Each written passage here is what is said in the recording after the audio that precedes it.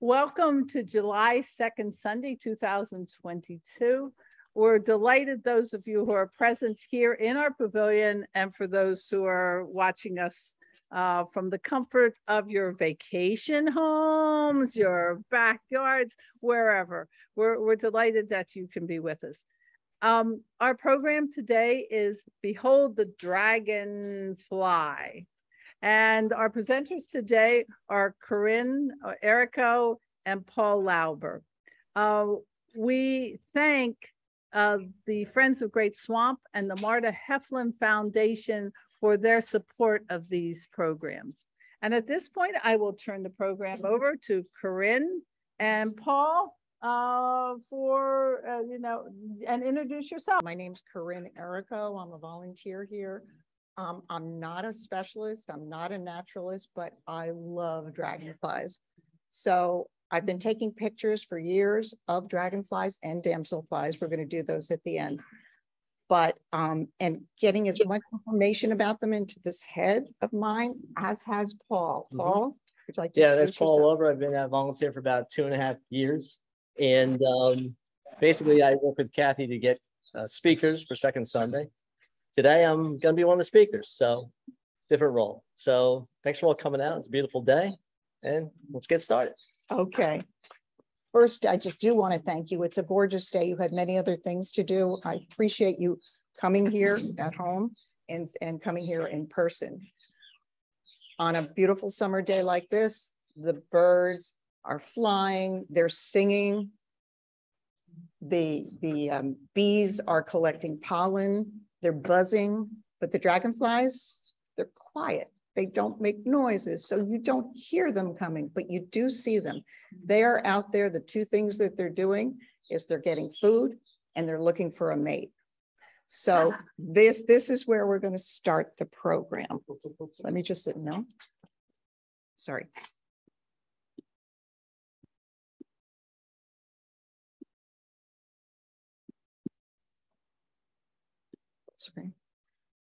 Is it going to show the whole screen?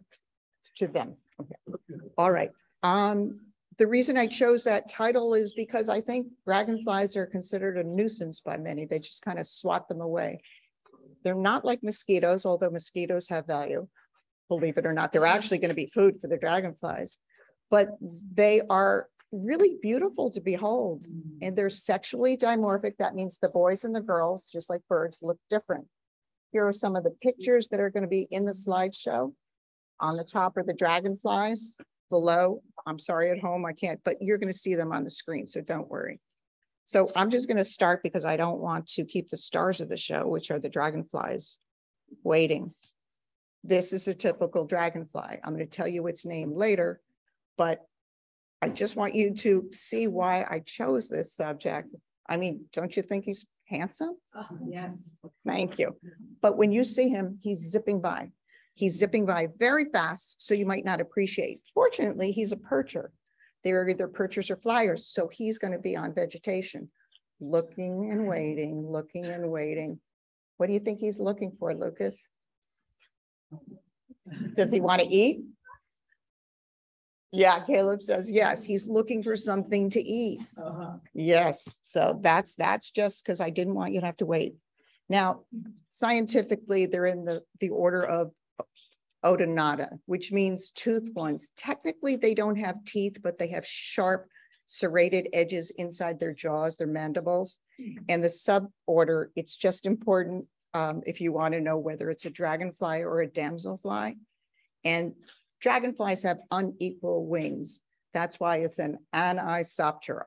Not important to you, remember? Just the wings are different sizes. The hind wings are bigger, broader at the base in the dragonfly. These are some of the overall traits that the dragonfly has. They can't, like all insects, they can't regulate their own temperature. So they have to rely upon the outside air, whatever place they're in. So that's called their echo up. In the meantime, by the way, you might have visitors up there. For those of you at home, you can't see, but a nest up in the ceiling of the pavilion. We have barn swallows making a lot of noise because they're nesting. They don't, they don't want to attend this program. They do want to eat dragonflies, so the real ones though. Okay, um, they have these wonderful compound eyes.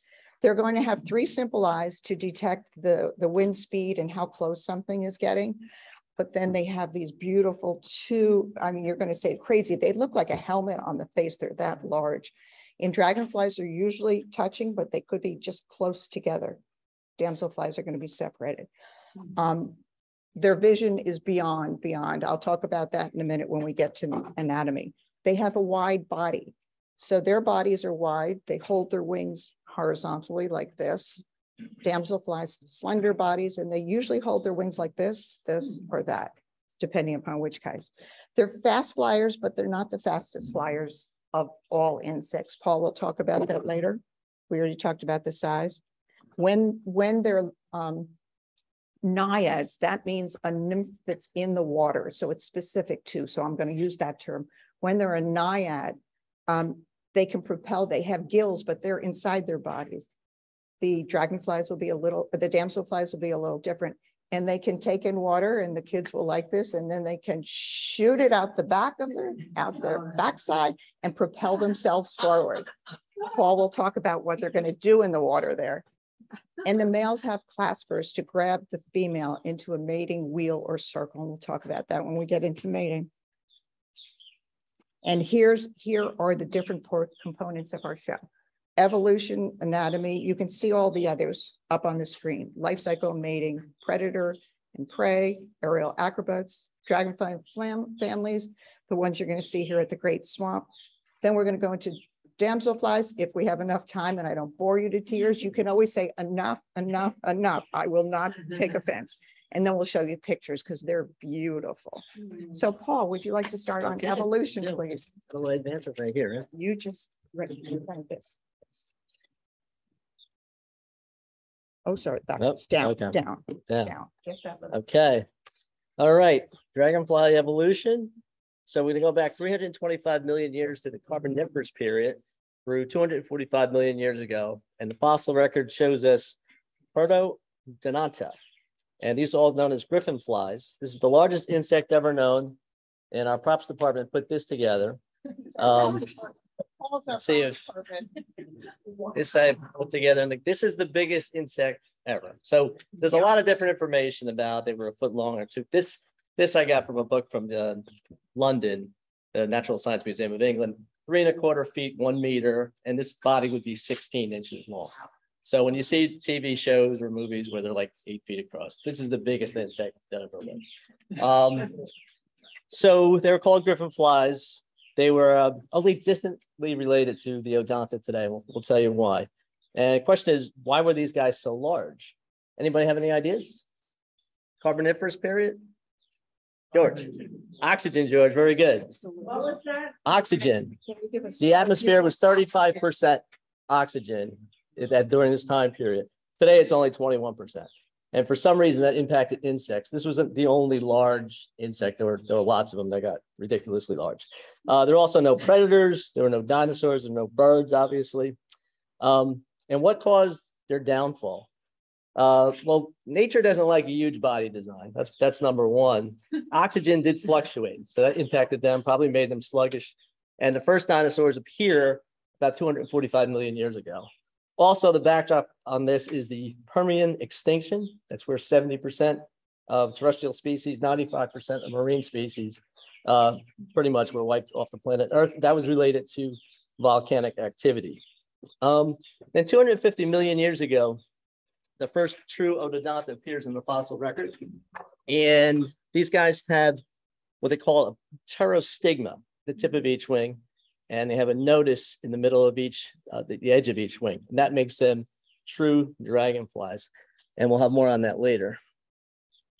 There's a picture, great picture of a fossil from back then. Uh, this is a griffin fly. Pretty amazing that these things could be going back again oh, between 320, 250 million years ago. And then 200 million years ago, the true Odonate families still found today in the fossil record, they start to appear they were a lot more diverse back then. There were quite quite a few more, but again, that's all part of the evolutionary process. So Odonata today, um, fifty-two hundred species worldwide. Some books say fifty-five, but the best that we could find was fifty-two. North America has four hundred and forty-seven. Um, and interesting, four hundred and forty-seven species divided by fifty-two hundred is eight point six percent. Any birders in the house? I know there are. I know you're out there. How many worldwide species of birds? 3,000. How many? 3,000. 10,000, correct. How many in North America? Just about nine hundred. So again, that nine percent relationship holds up, which I found thought was pretty interesting. Um, gets more interesting though in New Jersey. We have 183 species, 130 dragonflies, 53 damselflies. Now, New Jersey is the fourth smallest state. We've got Rhode Island, Connecticut, Delaware are smaller. Who wants to guess in the ranking from high to low, where does New Jersey rank as far as the number of species of damsels and dragonflies? County. One? I like the way you think, George, but that's not correct.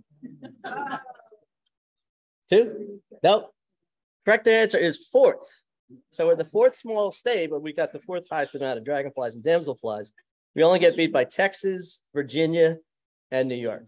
And New York is only 10 ahead of us. So, um, and by the way, this Texas is 25 times bigger uh, geographically than New Jersey. So those other states are five and six times bigger. Um, so Sussex County, this is real, a real anomaly. There's 142 species recorded in Sussex County, and it's the most of any county in the United States. Um, Sussex County is only 536 square miles. And there are counties like San Bernardino County in California, 20,000 square, biggest in the country, 20,000 square miles, 37 times bigger than Sussex.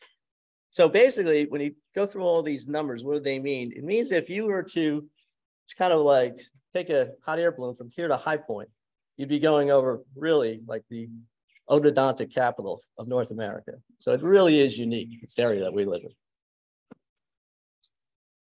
Yeah. All right. And now we're going to talk about the anatomy. Um, just so that as we go along and we use terms like Paul just used the term nodus and pterostigma, you'll see where that is on a body. So the most important part isn't to memorize all these, all, like all insects, there are three body parts. There's the head, the thorax, and the abdomen. The head is amazing because of the eyes. They dominate the body, the, the whole body. And so far proportion, look at the size of the head. They say it's like I said, a football helmet. They have the simple eyes, they have the compound eyes. Within each eye, and I brought these just to give you an idea, the hexagon type facets that are the covering of, of the photoreceptor lenses. Sorry, there's, I don't know if you can see how, but if you spin this, you can see, and I'm going to pass them around one on each side, please. Paul, would you mind giving one to this side, one to that, and then just pass them over? Their vision is amazing because they louder? Yeah. I'm sorry. I feel like I'm shouting, so I'm so sorry to those if I have been too quiet. They have 30,000 photoreceptors in each eye. They're going to take all of those images and they're going to get a great picture. They can see almost 360, but they can't see behind them, which is they why they say if you want to sneak up on them there. I actually try to lock it, lock them in because they can assess me very quickly, decide whether I'm going to be a predator or bother them. As of course I have very slow movements. So I was able to take these pictures by being very still, watching their eyes because their eyes are in constant motion. Um, the other thing about their eyes is 80% of their brain power is focused on vision. That's amazing. Now, because of that super, super trait, that's a superhero trait, their vision, they don't rely on some of the other senses that you think they're not relying, relying on smell. Some say they don't smell at all. They do have antenna, but they're very short. That will tell them the wind speed um, and again, how close things are, but it's not factoring in hugely, although the literature changes decade by decade where they say, aha, they put them in a room and maybe they did respond to smell. That hasn't been validated again. And also I should preface all my statements by telling you everything we're telling you, we picked up from the literature, not being naturals ourselves. However, it's conflicting information. So whether it's three hundred and fifty million years ago that the griffin flies lived, or three hundred thousand, whether it was hundred thousand before the dinosaurs, those are relative terms. So if I, if I misspeak, forgive me, I'm just quoting somebody else. I didn't make it up. So mostly it's the eyes on the head and the mouth. The mouth is going to be different in the, the larvae when they're in the water and when they're an adult. So right now you're looking at the adult. I'll show you what the, what the, um, the larvae looks like insofar as his jaw. So they've got the, the upper lip and the lower lip, and the lower lip is called the labium. Again, later you'll see it, but they're going to use this with inside their jaws. They're going to be chewing, not true teeth, serrated things, but you, if you were to be bitten by one, you would say it felt like a tooth. To me, it felt like a bite. It it is a bite. Um, so that's the that's the those are the most important things about the the head. Then the thorax. The thorax is like this power source. Um, it's it everything's there. It's got the six legs attached to it. It has two pairs of wings. Paul's going to talk about how these wings can move up and down, this and that. They're cover, covered with, as, as insects are, chitin, but I thought it was pronounced chitin. It's chitin. It's C-H-I-T-I-N. I say that because I had to look up half of the pronunciations to make sure I was scientifically correct. But in its pure chitin is, is transparent, but it will strengthen the outside, the exoskeleton of, of this particular insect. Um, the wings, the nodus, can you see the nodus, that little notch in the middle? Oh. I don't have the pointer, so I'm just gonna say, do you see that tiny? Let me see if I can do it from here. Okay, here. All right, here's the nodus. That brings flexibility. These, they're going to maneuver all around. Every wing is operating independently. The stigma or pterostigma up here is towards the end of the wing, and that's going to provide stability. Remember, these are flying insects, so this is very important. Everything, like I said, is generated from here. The, the thorax is going to, uh, there are muscles in those wings, by the way, out towards the edge. Um, so they can do their, their muscles in the thorax. It's going to control the leg movements, the head movements, and the wing movements. So again, power source, most important thing. It's attached, the head and the thorax are attached by a thin thread-like uh, attachment, a, a thin thread. So as it's attached, you will see in some of the pictures, or maybe not, or because their heads are relatively large, they're going to take those front wings, but uh, legs, by the way, the legs are slanted forward they're going to mm. actually hold their heads. I didn't find that out until I was in Florida and looking up a, oh. a, a, a skimmer there at oh. any rate, but that, that helps them. That helps them otherwise, you know. The wings are usually horizontal. One book said that they only do that so they're on the alert. If they're resting, they may droop them down. And then when they're flying, they do all kinds of crazy things, as you will see, as you will see. Um, and then you reach the abdomen. There are 10 segments. This is really helpful for identification because there might be different markings on the different segments. At the end are the sexual organs. Well, actually, there's a secondary sexual organ for the male there, not the primary. And this, they're going to be claspers. Cerci is the is the term for the pair, and that helps in the mating.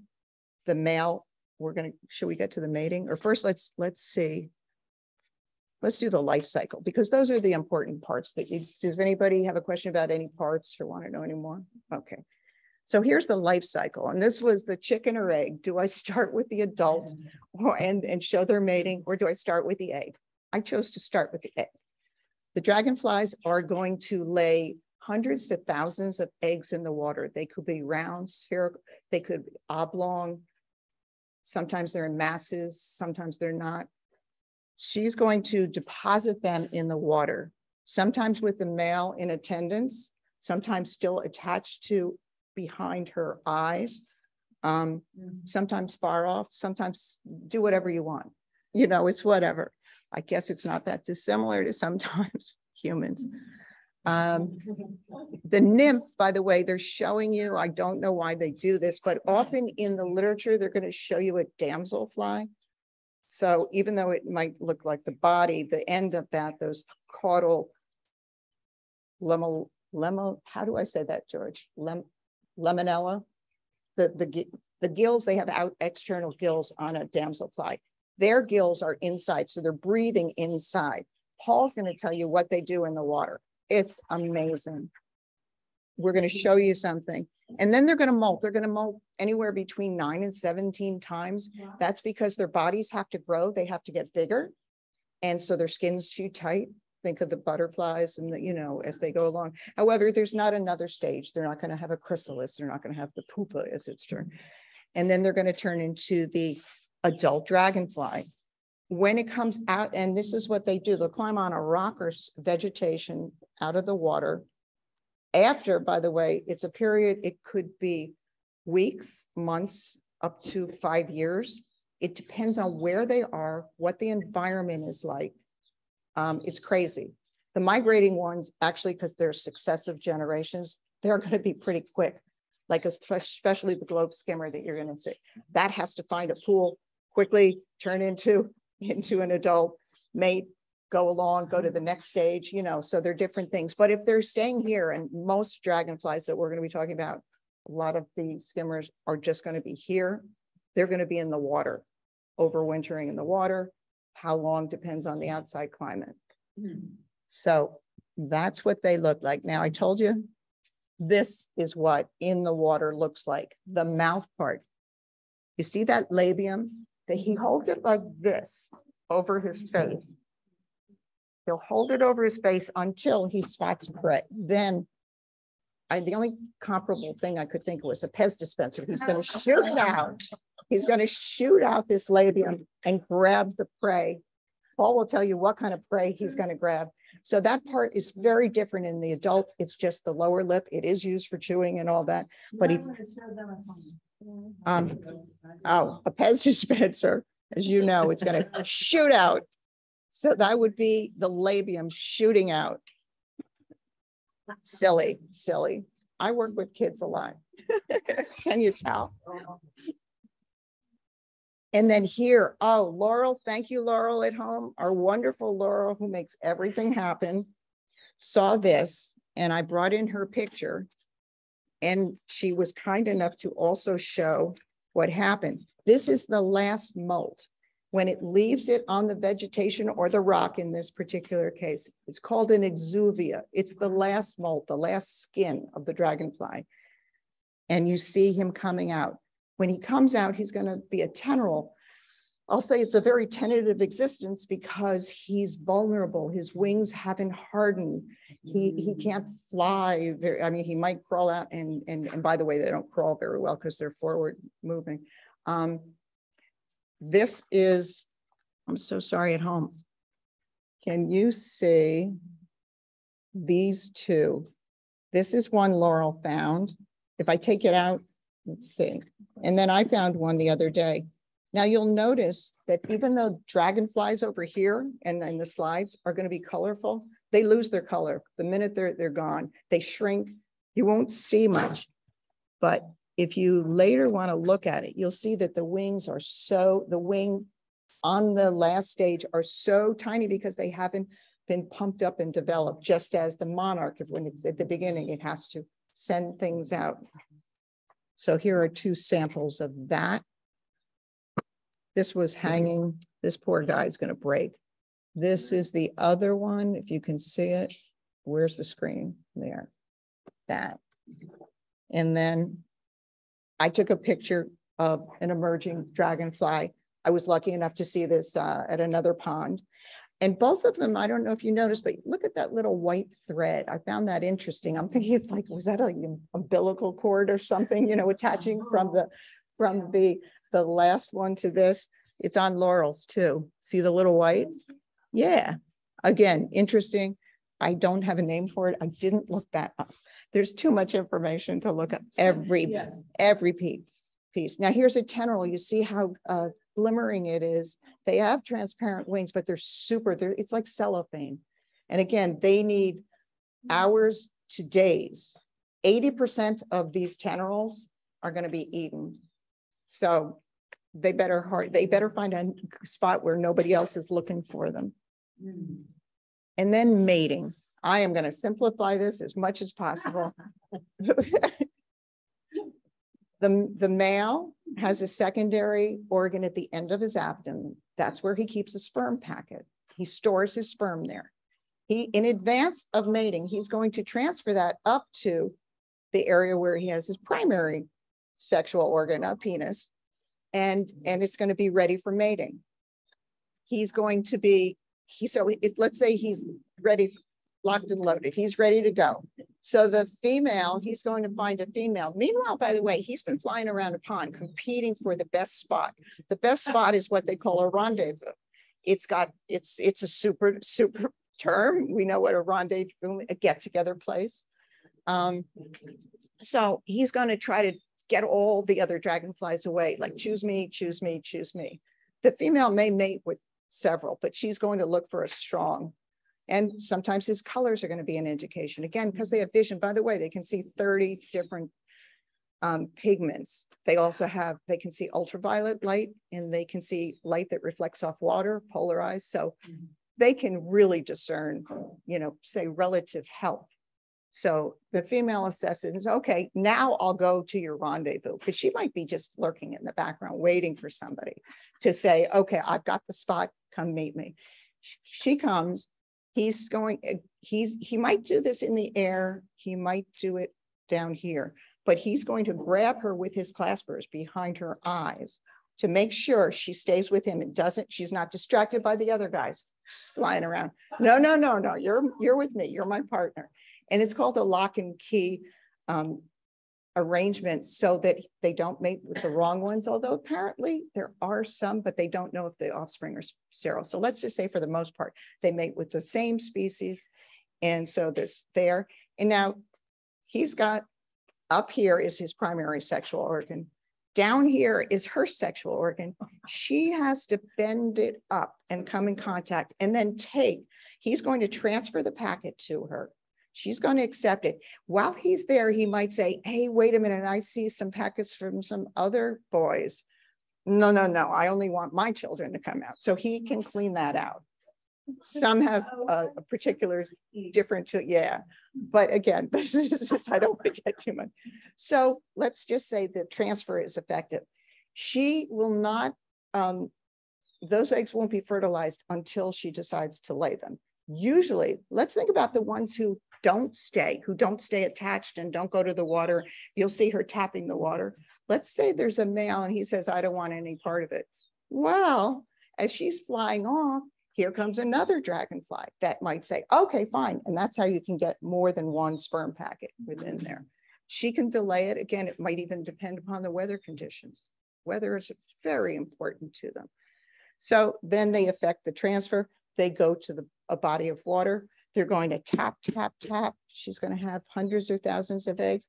So you'll see he's either hovering nearby, attached to her, or or whichever. We haven't decided which because it depends on the species. And now we're going to what do dragonflies eat and who eats them, All Paul? right. Let's eat And we have some, Oh, yeah, we got all here. kinds of things here, but, um, but when you tell me. okay. Yeah, you can go over there and do the props. We're big on props here today. Yeah, Um, again, I work with. what did the dragonflies eat? So they're totally carnivores, right? They totally eat meat and they actually do cannibalize each other. Um, they'll cannibalize in both stages, in the aquatic nymph stage and in the adult uh, phase as well. But the aquatics are voracious. Um, if you go on YouTube and you check some of these uh, clips that are out there, looks like something from a science fiction horror film like Alien or something. These uh, they, they'll eat mosquito and beetle larvae, which is a good thing. They eat worms, but they even eat tadpoles. And with that uh, labium we talked about, that Corinne talked about, even small fish. And you'd be shocked about how big these fish are relative to um, these naiads. And again, they're eating this fish while they're alive. So check that out on YouTube. The adults are also notorious hunters. They can eat 20% of their body weight daily, and they'll go after basically anything bigger than they are. Uh, I'm sorry, smaller than they are, such as mosquitoes, midges, butterflies, moths, bees, flies, gnats, mayflies, and as I said, other smaller dragonflies and damselflies. Um, they tend to prey on things that are airborne. So if- again, if you're a birder, think about like a peregrine falcon going after a duck or a dove. And they're extremely efficient hunters. Um, some say ninety percent is the kill rate, some are even as high as ninety-five percent. Um, and again, through evolution, this is from like about two hundred million years on, they really developed the perfect body form for aerial predation. Okay. Then what eats dragonflies? So dragonflies in the Great Swamp in particular, and Corinne's going to show a lot of great pictures of dragonflies from the Great Swamp. They live in a very dangerous world because just about anything that lives by the water is going to try to eat them. And number one among those would be the birds. And you can see the categories. Flycatchers, pretty obvious what they do, and they do it well. And we've got eight species that breed right here in the Great Swamp. So whether you're talking Phoebe, which you always see a picture of Phoebe with the dragonfly, uh, peewee, least flycatcher, Acadian, willow, alder, eastern kingbird, and the great crested flycatcher. Caleb's gonna sh- show one of the birds that eats the dragonfly, the one that's been flying here. It so they can hear the sound? All right, very cool. Okay, there's one other animal. We have a bullfrog. I don't even hear that, the whole room, the bullfrog. And who? Another business down, that's another swallow, and they're in the boxes there. Those are tree swallows, thank you. All right, very good. So the flycatchers, uh, falcons, kestrels and merlins, if you go down Pleasant Plains Road, you'll often see a kestrel with a large falcon. Um, swallows, we got plenty of those. We got tree swallows here, we have barn swallows, rough wing. And right out there, we've got the purple Mar- Martin condominiums out there, and they're always filled. And flycatchers, this is an eastern kingbird. Okay, Almost always on a tree back there. That's kind of Eastern kingbird. Okay, Hey, terminal band, it's an eastern. that is, kingbird. okay, that's legit. Tiny sound, that's an eastern kingbird. And even chimney swifts and even kingbirds, uh, in the research, we found even, even kingbirds, kingfishers, I should say, will eat, uh, dragonflies. And those are just the birds. Um, fish obviously will, will go after dragonflies, especially as Corinne mentioned, when they're dropping the eggs, they're they're skimming the water. Um, and also the fish, the fish will eat the aquatic nymphs. Um, frogs will eat the aquatic nymphs. And any dragonfly is like caught in a rainstorm and he lands in the water. Once his wings are in the water, he can't get out.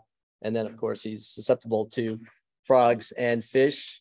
Um, larger insects and larger dragonflies, uh, wasp and praying mantis being an example of that. And even smaller mammals, shrews, muskrat, anything basically that's near the water.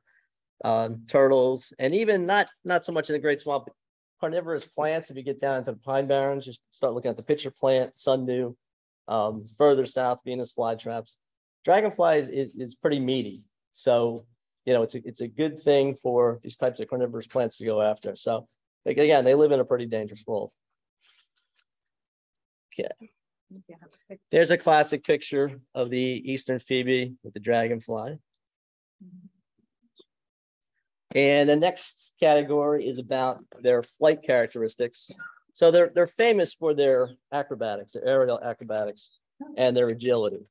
Uh, dragonflies are really unique. They can propel themselves up, down, backward, forward, side to side, and they can hover in midair. Uh, they have two sets of independent wings that are strong, flexible, and powered by those large uh, thorax muscles.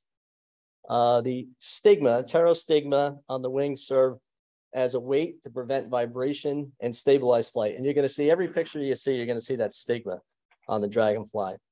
Incidentally, in the 1980s, the aircraft industry started putting the winglets on the end of the, the planes. So dragonflies kind of figured that out 250 million years ago. So not too bad. Um, each wing can do different things. Each can adjust their, their shape and their angle.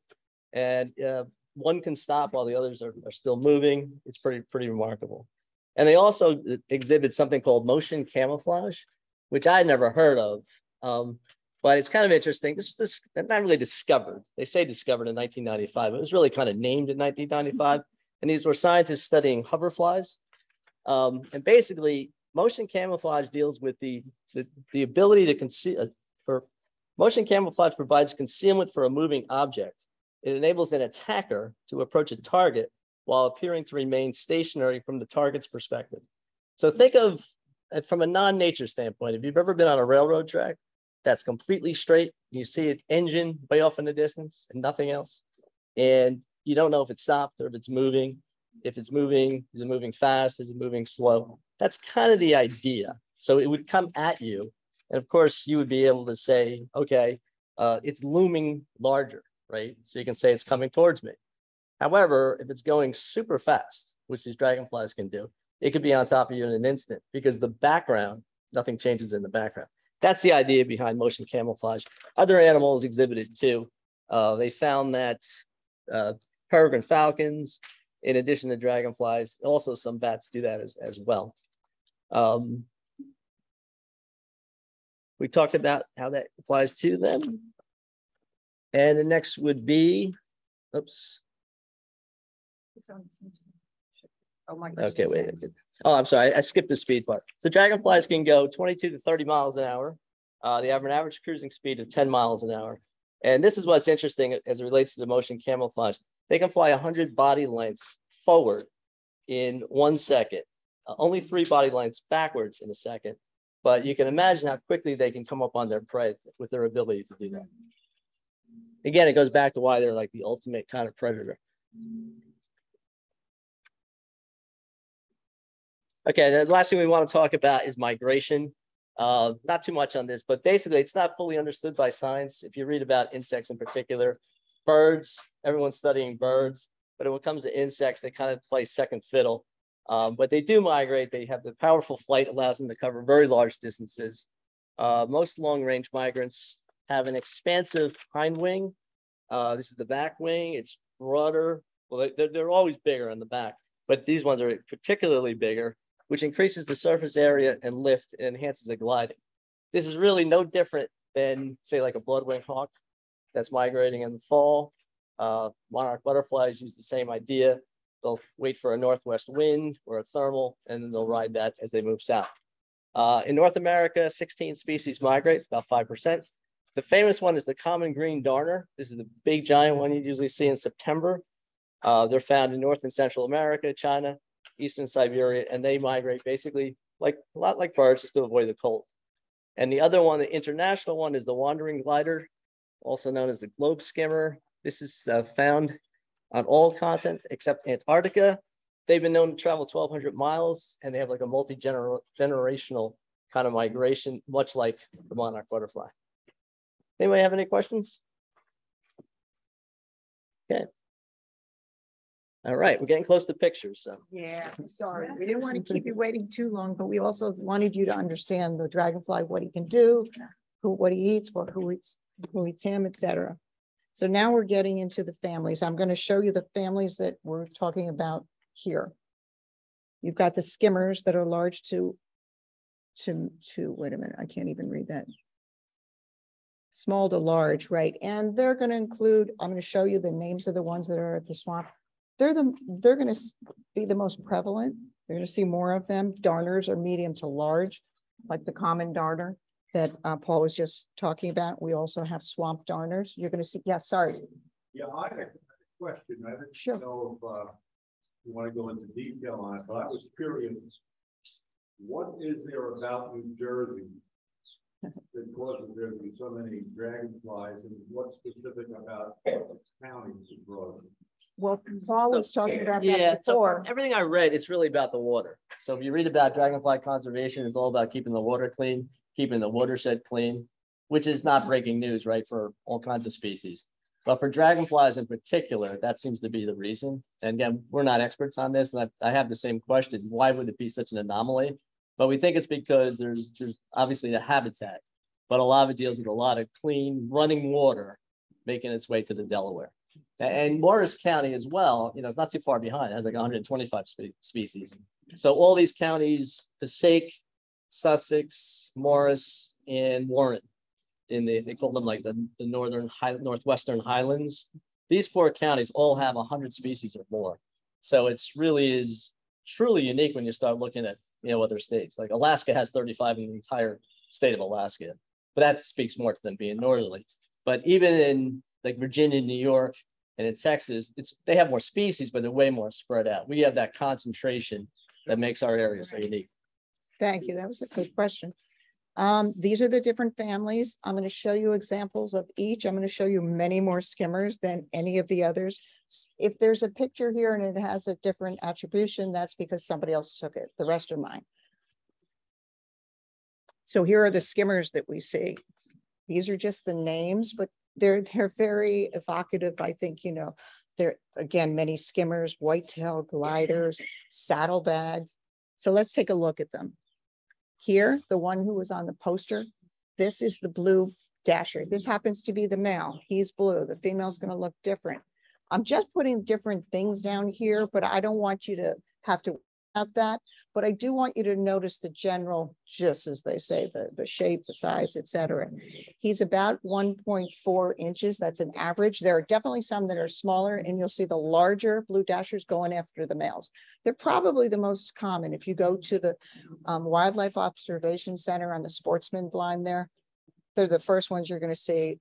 They're plentiful.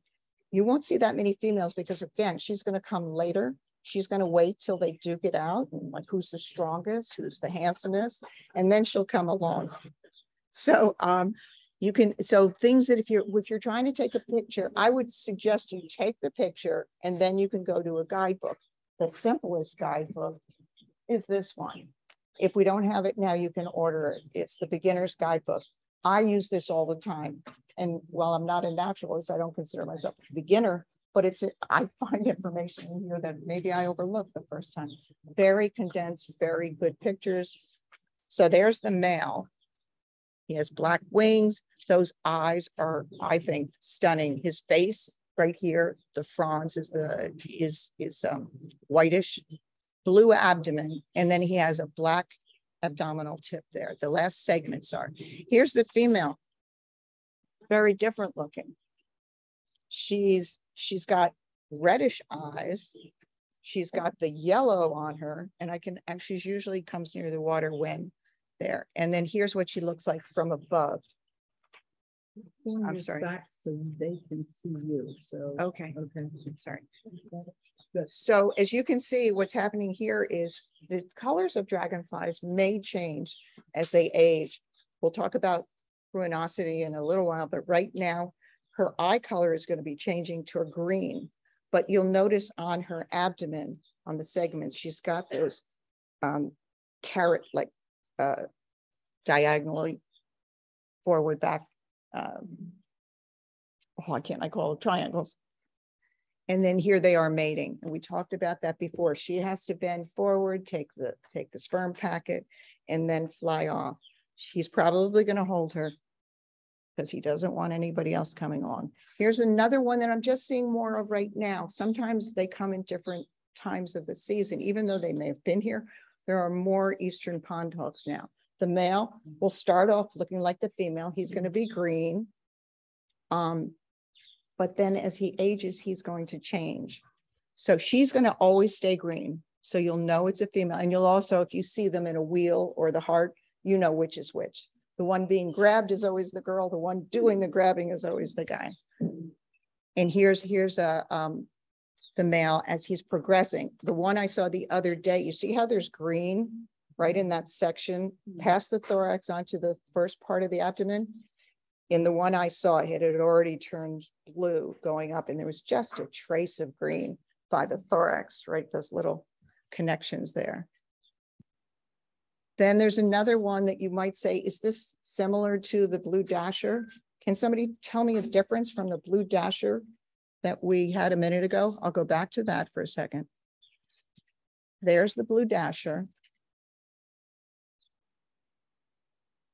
And then here's the great blue. He looks different, doesn't he? Yes, yes, different, right? The thorax is, is the same color as the abdomen there. Also, the, the stigmas out there are dark. You have to see it in person to see how dark they are because they're appreciably dark. And she- so he's got more markings there. And his eyes, Uh, they don't really have so much green, although you could say turquoise blue is green as well, but there's less green. And here's the female. Doesn't look anything like the male, except for the remarkably dark uh, tips of the wings right Mhm. there. She's really striking and they're larger. So they're going to be larger than the other, but th- remember, these are also skimmers. So they're perchers. So you get a good chance to see them. Then you've got, Paul was talking about the globe skimmer or the wan- uh, wandering glider. This is the one that can go twelve hundred miles from the, that's not all of them, on all the different continents. We have them, this was off the boardwalk in, at the uh, Great, at the Wildlife Observation Center.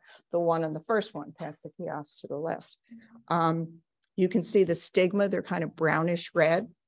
You can see the body and look at the, the markings down the back of the abdomen. And this one is the reason it can, can go so far. It'll start in East Africa, the longest one. By the way, they track that. Think how tiny these are. Most dragonflies are two to five inches, okay? They tracked it by putting these micro uh, radio receptors, transmitters, and they attached it with, what do you think they could use as an adhesive?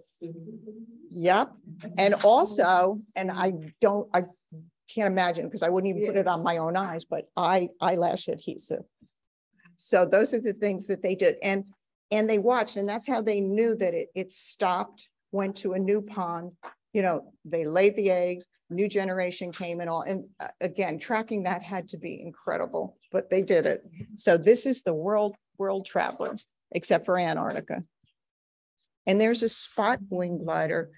And I was thinking, okay, so where are the spots? If you look right, is my, how do I get, how did I get that before? Sorry, I'm trying to get, oh no, I don't want you yet.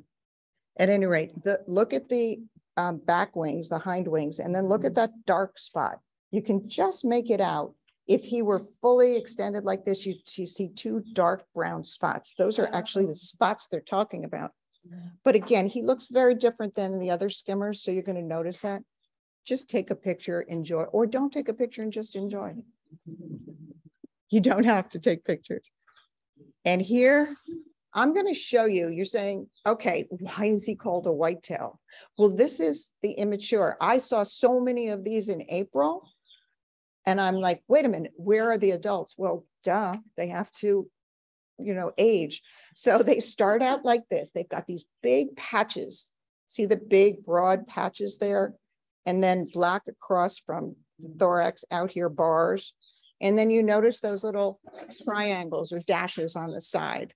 That's going to be important later when it gets confusing. So that's the immature male. Oh, sorry, went the wrong way. He's going to get something, the one thing that's going to make him a whitetail is pruinosity. It's a chalky wax-like subs, uh, substance that's going to be on his abdomen. And you'll see in a middle, minute. There, there he is. That's the same one you just saw, except now he's older. You can see in this picture, they're tiny white triangles down the sides of his abdomen, but you might not see them. It's, it could blend in with the, with the uh, chalkiness. And then here's the female. Hmm. Now, you want to see the immature male compared to this? Tell me what's different. Here's the immature male. Here's the adult female. Yes, right, those big bands. I always think of a box kite for the adults with, with those big broad bands. This one has patches. Going to get a little more confusing in a minute because there's another one that's going to be very similar. But remember, these dashes are diagonal on the abdomen. The next one that's going to be confusing with, not just yet. This is a beautiful 12 spotted skimmer. Notice the white in between the segments. So there are going to be 12 dark spots and then the white in between. Here comes the female. She's got dark spots, but no white. But there's something on, can you see the side of her abdomen? Does she have triangles or lines?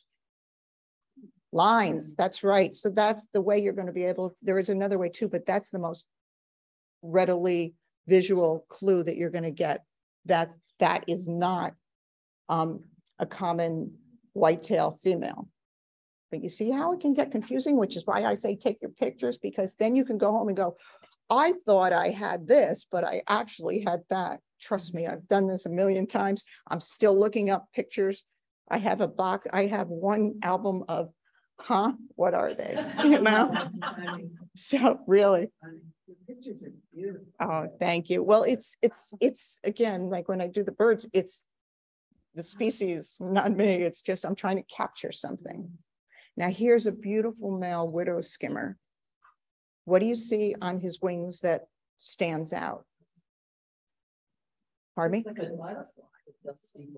It does, right, it's, it's whitish actually, but you're right, it does look like, it can't, blue and white look very similar. Sorry, the barn swallow really wants us all to leave, but sorry. Um, so that's the male. And then here's a gorgeous female. What's she missing? Can you see something that's missing on her that, that you talked about before, somebody who hasn't? I'll go back to the mail. Here's the mail. And here's the, yes, any, I just, I just want some people who haven't spoken, sorry. It's great that you know the answer, so that's super. Um, so she, again, and she's, she looks golden, the, the abdomen looks golden in the sun, she's just stunning. It's hard not to, that's why I said, you know, behold. It's hard not to be impressed, oh, and this, oh, this was just off by the, again, past the kiosk at the Wildlife Observation Center. And that's where I found this one. He's striking. He's, there's nobody like him, so I don't have to say what's different about him. You can, you can just tell. And then female, much paler. Oh, no, my dragonflies are going away. And that's, sorry, I don't, one belongs to Laurel. We saved it, Laura, don't worry. So there you go. Again, another beautiful dragonfly, still pretty, more yellow than gold or orange. Here's this lady skimmer. Again, another common one. The most prevalent ones you're going to see are those blue dashers. Then, then the pond dogs, because they've been coming around, and the lady skimmers are there too. Um, it's kind of like a blue black on him. Sometimes he can look all black, but it's blue-ish. That's where you get the term slaty. There's the male female, doesn't look anything like that. Um, she's closer in appearance to the um, great blue skimmer that you see up there, but she's a difference, she's just different. And there they are mating, so you can see. Then you mm. know you have the right, then you know you've got the right female when you see it with the male, because you can identify the male mm-hmm. first. That's another kind of cheap little shortcut, how you know? Yeah, and then, oh my gosh, I saw my first of this mm-hmm. season because they come mm. later in the season. These are the Meadowhawks. They say that you can only identify if you have it in mm-hmm. hand. I got these pictures and you can see one seems to have the red face. The other seems to have a straw colored face. Sometimes it's the, the um, sun on it. So I'm not going to tell you that's definitely a ruby Meadowhawk on the left and the cherry faced on the right. But I am going to tell you, I think they are. but enters the third confusion. There is also a white faced. We can't see his face. If it's white and not straw, it's going to be your white faced. Again, have fun or say, I don't care, you're a Meadowhawk. That's the other thing that you can do. And that's fine. Never feel like you need to know specifically or the Latin name. We're very lucky in the United States. We don't, they identify uh, dragonflies and damselflies, all the odonata uh, with with a common name, so you don't have to memorize. But you go to Europe, you better you better know the Latin binomial. Yes. This is the one that we pointed, this is the one we get in December. that we did the list in. Oh yes. Yeah. Paul has seen the. Well, did you see the next So, one, I don't know. which- or did you see I'm not these? I, I think it was that, Okay. I'm not positive, but it was definitely. red. December. Which is crazy when you think how late that is, but Yeah. there. Yeah, As late as December sixth was that. December sixth, Paul saw that. at the WOC. WOC, yeah. And they're usually on the boardwalk or on, on the uh, railings over there. They definitely want the sun because the climate is changing um, for them by then. By then it's cooler. And they're mating all the time that they're here. So you see, I don't know if he is going to be taking her to the water or saying, come with me. You know, I mean, I don't know at what stage of mating they are, but he definitely is attached to her. And then here they are. Now you know, now you know he wants to make sure when she deposits her eggs that he's the only one. He's the one and only. And then there's a dot-tailed white face. As you can see, here's the dot on the tail and here's the white on the face. Um, I saw this at the Sportsman's Blind maybe four years ago, and I was like, I've never seen you before, so I'm definitely taking a picture. That's why I do these. And then there's a black saddlebags. This is the female, the male's comparable. It's, they look like they're carrying a violin case on their body. And there's going to be a Carolina, there's going to be a red saddlebags. They're, they're obviously going to be red. Um, but that little patch in, in between where the scales are worn off, that's going to be um, a way to help identify right here. That patch, it's empty. Then I haven't, I don't understand why, but I haven't seen them here. This particular site, they are definitely out there. I can see them down the street. So I'm going to show you what you're probably going to see. Um, probably the bodies of water that they are are further recessed, you know, not, we're not allowed to go into all parts of the Great Swamp. So that's the male Eastern amber wing. His wings obviously are, are amber and look at the reddish um, pterostigma he has. I'm just gonna say stigma, who cares about the ptero part? Stigma. and there's the female. Um, similarity is, look at the abdomen. Look at the markings going down the abdomen, look at the markings on her. She also has the same color uh, stigmas, but she has little bars, patches there. Then, now why is this dragonfly, does anybody know why they're in an obelisk position? Do you think on a summer's day, like when it's 90 degrees, they could overheat? So if they were lying, if they were perching like this, their whole body is absorbing all the sun. But if they throw their abdomen up the air, up in the air, they've got the wind going around them and less, um, less of their body is exposed to the temperature. So they're cooling off. That's what they're doing. They say sometimes they might do this in mating, but I've seen it on hot days when there's no female around. So I'm kind of guessing, you know, that's why. And then Paul was telling you that all the wings can move independently. Well, here's a, a gorgeous Halloween pennant showing you his arms, his wings, I'll call them arms because they seem like arms like an octopus, moving in all different directions to control, to control the sun, to control the wind, to stay. Their pennants usually hang on the tip of vegetation and they, I say a pennant flag, I think of a flag flying. So I often see them like this, but they can grab on and they hang. And then again, in a nice wheel, you see that the female's lighter, but they're, they're pretty cool. And then now we're coming to a different family of darners. I'm only going to show you two different kinds. Here's the common green darner. This is the big guy. When the blue dashers are here, here comes this guy.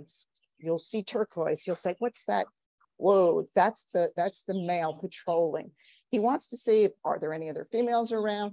Are you guys in my way? Am I hungry? Should I eat one of you? Because he is bigger than they are. He could be eating them. So he's got a bullseye and I'm going to show you from another angle so you see it. He looks like he has an eye, like a bullseye on top of his head. He does. Those are his eyes and he's got three more. So there he is. And here's a female.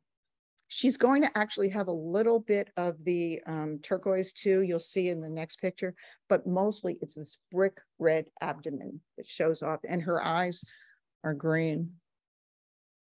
Here they are in the water. She's, he's holding on. He wants to make sure he's the only one. She's depositing on those lily pads there. There are those eggs. Swamp Darner was on the boardwalk at the WOC. This is the male, blue eyes. He's got those rings. Darners again are bigger. They're, they're flyers more than they're perchers. When they get tired, they're going to hang like this. It's fun to watch them because uh, you could say, okay, you must be tired, you must be tired. Please go on something so I can take a picture of you because I can't take them while they're flying. They're just moving. He was nice enough to land. And there she is. You can see her eyes are green. They're just beautiful. I just love them. So those are the, you had the common darners and the swamp darners, the most common ones you're gonna see. Oops, sorry, I keep doing that. And then you have another category, another family. These are called club tails. You see the back of the abdomen? He's hanging, he's got this club-like appendage. I see this guy every day, um, usually at Kitchell Pond in, um, Chatham Township. But, uh, he looks like he's smiling. Again, it's hard to think they don't have teeth because they look like they're smiling right at you. And then I don't have a picture of a gray petal tail, so I imported this via Flickr. That's the gentleman who took the picture. That's also a percher. You can see him hanging there. Beautiful gray, beautiful gray though. And I don't have a picture of a twin spotted spike tail. That's another one. It's large. Spike is going to be for to put the um, eggs into the vegetation, the female. And a stream cruiser, you can find this by rivers. Again, I don't have that picture. I wish I did. I did get a picture of somebody in the emerald family. This is a Prince basket tail. He's not even common uh, looking for an emerald, but because I had him, I actually thought when I saw him that he was a combination between a darner and like a twelve spotted skimmer because he's got the markings here. He's got the big body, he's hanging, but then he tipped his abdomen, abdomen up. They say it's a, he's called a basket tail because the way the eggs are laid, they're in uh, like a basket type. Now we're getting to the most beautiful part of the show, I think sometimes. I love them, but I adore these damselflies too. Same order, tooth ones, Odonata, suborders, Zygoptera. Uh, it means their wings are going to be the same. Instead of unequal wings, they're the same. Here's a comparison. So you can see skinny body on the right, wide body on the left. Wings like this for the dragonfly, like this. Now the damselflies, some of them will slightly open up. You'll see in a minute. So those are the main differences. The only, you know, they have the same, same body parts, except there's a different um appendage for the female paraprocts at the end, but who cares? It's- She just gets everything done down there, off there.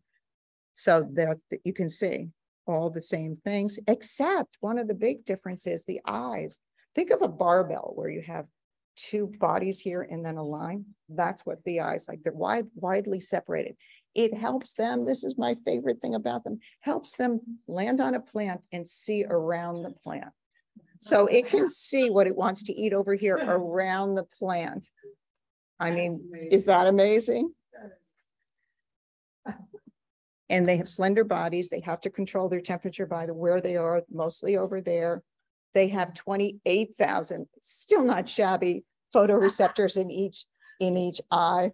Um, the large eyes, they're widely separated. And when they were um larvae, that's why I said when you saw the nymph or the naiad in the water, it had three little appendages. That allows them, that's where their gills are. It allows them to go around the water. It propels them. Whereas the, the dragonfly had to take in the water and shoot it out. This one can use, they're weak flyers. They're not going thirty miles per hour. By the way, thirty miles per hour is the average small bird. Mosquitoes go five, anywhere from three hundred to five hundred um, uh, body lengths, per not bodies, pardon me? The wing beats, right? Wing beats, yes, yes, yes, but also the, yes, but I'm also talking speed.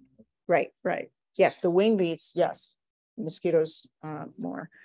Um, so they're very weak. They're down, you're gonna find these down on low vegetation.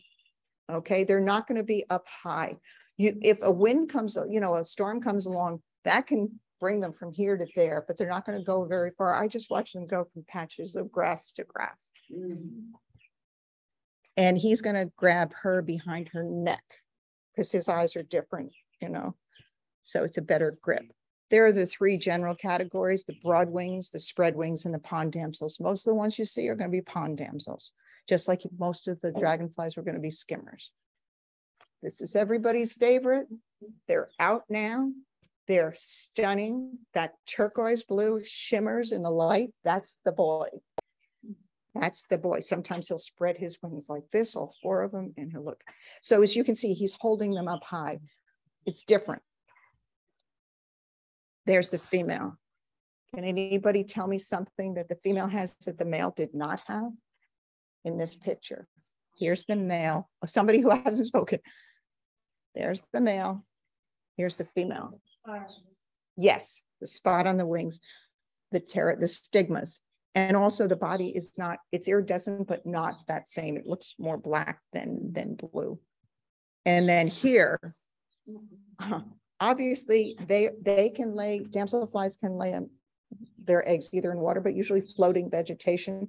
So right now that long blade of grass is being, they're all depositing and the guys overhead going, any of those mine? Okay, any of those mine? You know? And these are, these are stunning swamp spread wings. They are, I saw these, they are mating right now. Every time I go, I see them. They're gonna look like these finely, fine, delicate sticks floating way down by the water um, just I, I don't know. It's it'll take your breath away if you can, you know, see the colors, the metallic green, the brown, and all. And here's here's them in a mating wheel. She looks like she's looking at like, are you really have to take this picture? So I try to give them a little privacy, but I want to show you what they look like. Doesn't it? Isn't she? Doesn't she have an attitude there? I think she does.